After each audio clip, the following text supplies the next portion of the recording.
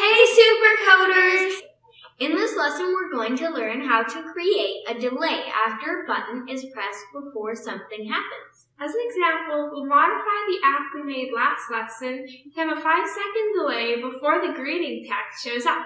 We'll accomplish this using a timer. Just like everything in Java, a timer is a type of object. First, we'll create a timer. Then we'll create something called a timer task. A timer task lets us control what code is run when the timer goes off.